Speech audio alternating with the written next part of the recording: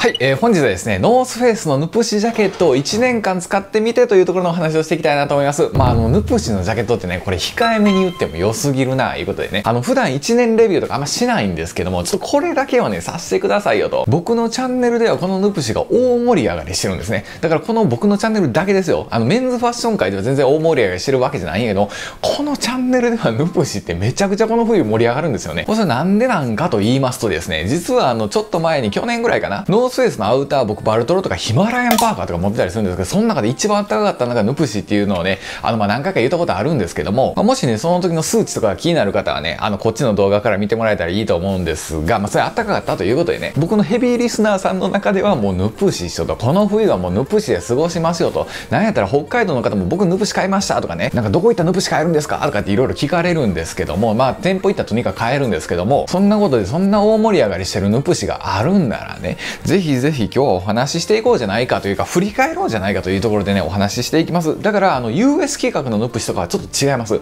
はっきり言ってね、似てるような感じなんだけども、実はここまでの保温力多分出ないと思いますし、それこそ日本企画でもちょっと着方間違えると、あれ？ちょっと思ってんのとちゃうなということになりかねないのでね、本日の流れとしてはまずは振り返ろうということで、振り返っていきたいなと思います。で、暖かさのね、多分僕が思う理由とかね、あとは、この圧倒的なコスパがなんでこんなコスパすごいんかっていうのを、普通に分かってますかと、そんな当たり前な顔して、うん、3万でしょって言うじゃなくて、これめちゃくちゃすごいんですよというのを喋らせてもらって、ただ、でもこれいらんよねと、これ使わんよねっていう話もしたりだとか、あとそれがにやったら着方ですね、着方間違えるとこれ寒いですよと、本領発揮しませんよというところでね、お話をしていこうと思いますので、じゃあ着ていきますね。はいはい、ではヌプシを着てきましたよ。じゃあまず振り返ろう。あったかいというところでね、あの、あったかいのはもちろん当然です。あの、ダウンジャケットだからあったかいっていうのは当然やねんけど、なんでこのヌプシがズバ抜けてあったかいんかっていうのが明確な理由があるんですよ。で、今回は小難しい話しません。あの、なんとかフィルパワーとかね、なんとかデニールとかそんな話はもうせえへんから、へーって言って全然知らん人が見てもね、なるほどなというふうに思っていただけるんじゃないかというところで、あったかい理由としてはですね、コールドスポットがないのがおそらく理由だと思います。おい、難しい話してるやないかと。あんまりせえへん言うとそのすぐにしてるやないかいう感じなんですけど、コールドスポットがないっていうのはどういうことかというとね、もう要はパンパンに体にいろんなところが密着してる状態。だからダウンジャケットとかでもね、ちょっと隙間あるダウンジャケットってなかったりしません？ちょっと脇のとこ隙間あるな。腕のとこ隙間あるな。首のとこ隙間あるな。何かしらこう隙間あるなっていうのっておそらくダウンジャケットってまあそうやと思うんですけど、このヌプシに関してはね、えっと、しかも全部じゃないです。2017年ぐらいからかな、ちょっと規格がね、細身になってきたんですよ。だからそっからはね、こう体に沿うというんですかね、余計なゆったり感というか、余計なその余り感がなく、ぴったり全部が体にフィットしてるんですよ。腕が全部フィットしてるし、この脇のとこもフィットしてしてるし、身幅のとこもフィットしてるし、首のとこもフィットしてるっていうことで、もうダイレクトにね、体温がね、あの綿にこう伝わるようになってるんですよ。だからあったかいんですよと。で、逆に言うと、そのさっき言ったみたいに海外ヌプシとかっていうのは、まあ、その海外の人の体型に作られてるから、どうしても日本人が着るとね、隙間ができるんですよ。で、その隙間ができた時に、コールドスポットっていうか、まあ、要は冷えがね、こう熱が思いっきり伝わらんので、あの、若干寒く感じたりとか、もう本来のダウンを発揮できないんですよね。だからこれパッて見てもらうじゃないですか。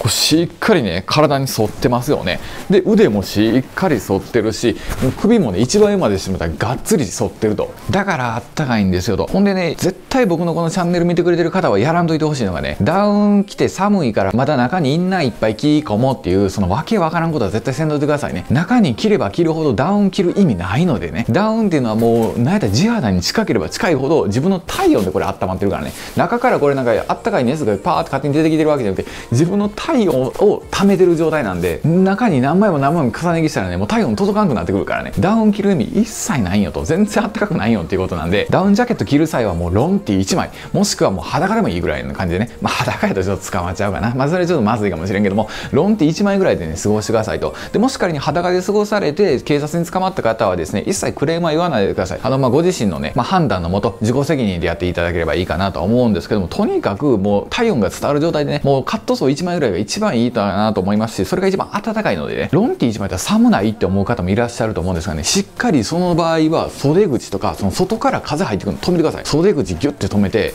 首のとこもね絶対風入ってこうへんようにして特に問題はここ。こういうジャケットって大体ねこういうドローコートしてるからこれでギュッて縛ってねこの隙間をなくしてください。こっから入ってくる風の隙間をなくせばロンティー1枚の方があったかいんよと。でも理論的にもそうなってるし重ね着する人はダウンジャケット着る必要ないんよというところでね、まあ、もし仮に知らんかった方はねあこれからじゃあそうしていこうと、裸で着ていこうかなというふうに思っていただければいいかなと思うんですけども、まあそういうところであったかいっていうところが、他のダウンジャケットとはちょっと違う。やっぱどうしても他のダウンジャケットはちょっとだけ隙間があったり、ちょっと形の問題で、どうしても抜けやすいところがあったりはするんですけども、まあほんまにこれはもうシンプルイズザベスト。ダウンジャケットってこの形やないかいっていうのがまさにこの形になってるじゃないですか。で、そこから派生してフードがついていったりとかね、ちょっとまあ着丈を長くしたり短くしたりはしてるんやけども、シンプルなダウンジャケットのの形ってこれでしたよねと。こう、モコモコしたロックマンの形してて、横にこうつなぎっていうかね、ステッチがあってっていうね、もうこれでもう30年以上前から出てるんやけども、結局シンプルなのっていうのが一番原点回帰でここに戻ってくるんですよ。これが一番あったかいということでね、あの、あったかい話をしましたけど、ちょっと長くなったけどね。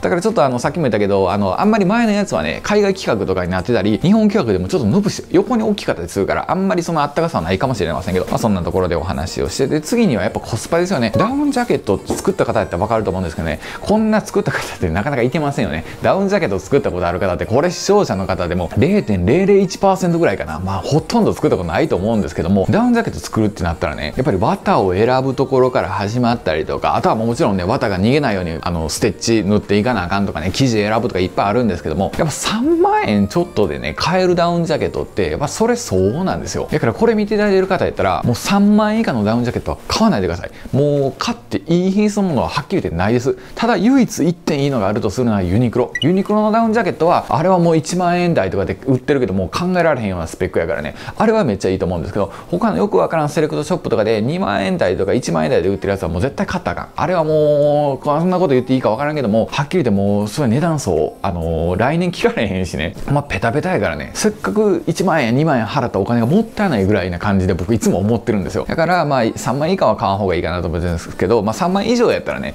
あのー、まずはこのヌプシが出てくると思います。でそれは何でって言ったらもう圧倒的なクオリティなんですよね。まあそれこそデザインが好きな方とかもいらっしゃるじゃないですか。デザインにお金払うねんっていう方はね全然いいかなと思うんですけどもデザインにお金払ったってあったかくないしね。着心地も良くないしね。ただデザインやからね僕はあんまどうかなと思うんですけど。もうデザインはね自分の体を磨いていったりね自分の見た目を磨いていってねあのー、服が服に合わせていくもんやと思いますのでいくらかっちょいいデザイン着てもねちょっと体型がなとかねちょっとあの見た目がなってなったら意味がないから究極の心地とか機能性を持った上で、まあ、さらに個性っていうのは自分で出していくんやというふうに思っておりますので、まあ、そう考えるとねコスパはめちゃくちゃいいと。まあはっきり言ったらやっぱダウンジャケットって5万以上出さんとねいいダウンジャケットってなかなかないんだけども5万以下で買えるってなってくるともうかなり数は限られてくると思います。ほんまユニクロとかねノースフェイスのまあこのヌプシぐらいかなと思ってきたり、まあ、あと何個かあるんやけどもまあそれはまた動画別で作ろうかなと思ってます。まあなのでね僕も友達とかにダウンジャケット何おすすめって言われたりしたらね最低5万は出してと。5万以上出さんとおすすめできるもんがないって言うんですけどね。まあその中でもとは言いながら番外編があるんですよなんて言ったりする時にはこれヌプシが出てくるんですけどまあそういったところで圧倒的なコスパかなと思います。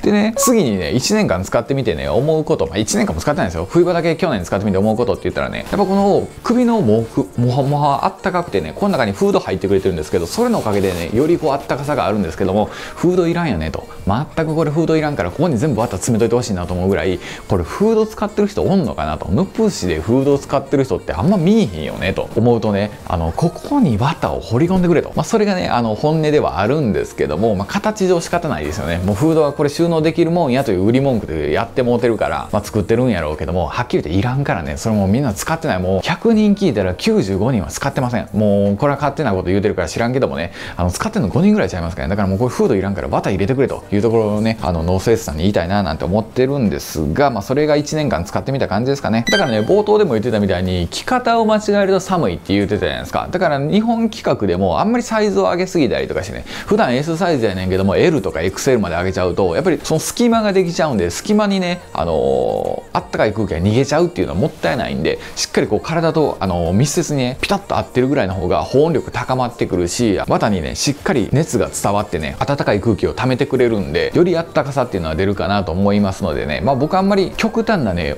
オーバーサイズっていうのはあんまおすすめしてないんですよ。1サイズぐらいで全然いいと思うんですけど2サイズも3サイズも上げていくとねやっぱりその分機能性発揮できひんからね何のために着てますのと。ダウンジャケット寒いから着てるんちゃうのって言うんですけどまあそれやったらねあのフリースとかもね重ね着しはった方がねあの全然あったかくちゃんとあのデザイン性も大事にできると思うんですけどダウンジャケットはねあのこうギュッて寒さを対策するためのもんやから、まあ、ちゃんとね適正サイズとかもしくはもう1個ぐらいのサイズ上げるぐらいでね全然いいかなと思います。はい。というのがねまあ1年間ヌプシを着用してみてっていうか振り返ってみてというところになってるので、まあ、今年購入されようとしてる方とか、あ、今年買ってんとかっていう方はね、ヌプシの恩恵をね、そんな感じで受けていただければね、あの、検証結果で出したような温度が出るかなと思いますので、僕もね、ほんまはね、もう今年ね、もう一着ヌプシ買おうと思ってたんですけど、ちょっとね、他にも作らなあかん動画とかがあるので、ね、もう結局諦めました。だから、今年もね、おそらくこの XL のね、ヌプシをずっと着てるとは思うんですけども、まあ、今年、まあ、ヌプシ友達に皆さんなりましょうという感じなんですが、まあ、あくまでね、ヌプシ盛り上がってるのはこのチャンネルだけです。他の別に雑誌でも盛り上がってないし、他の YouTube チャンネルでも盛り上がってない。